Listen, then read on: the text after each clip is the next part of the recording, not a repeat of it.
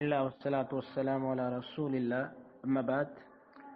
یہ بہن کا سوال ہے کہ جب ناپاک کپڑوں کو پاک کپڑوں کے ساتھ ایک ہی مشین کے اندر دھویا جائے، تو کیا جو پاک کپڑے ہیں وہ بھی پلید ہو جاتے ہیں؟ شیخ ابن باز رحمہ اللہ سے یہی سوال کیا گیا۔ تو انہوں نے جواب دیا، احتیاط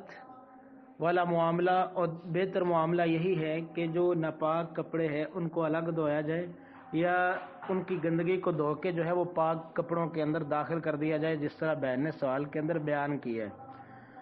تو یہ زیادہ احتیاط والا معاملہ ہے کہ انسان وسوسے سے بچا رہتا ہے۔ اور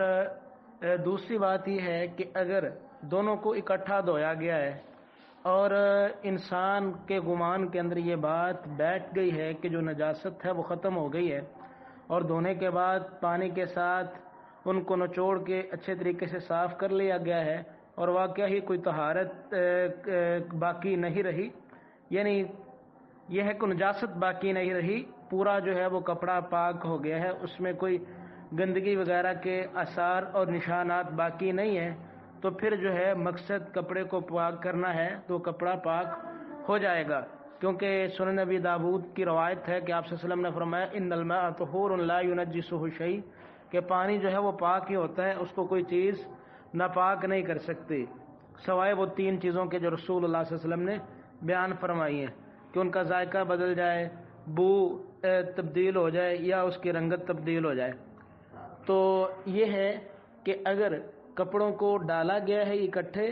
تو پہلی بات تو یہ ہے کہ جو ناپاک کپڑے ہیں، ان کو الگ سے دھو کے ڈالا جائے۔ اگر نہیں ڈالا گیا، تو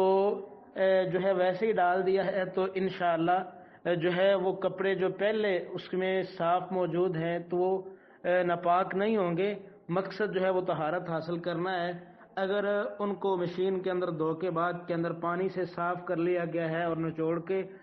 اس کو خشک کر لیا گیا ہے، اس میں کوئی گندگی کا نشان باقی نہیں ہے، تو وہ جو ہے وہ کپڑا پاک ہو جائے گا، کوئی حرج والی بات نہیں ہے۔ لیکن احتیاط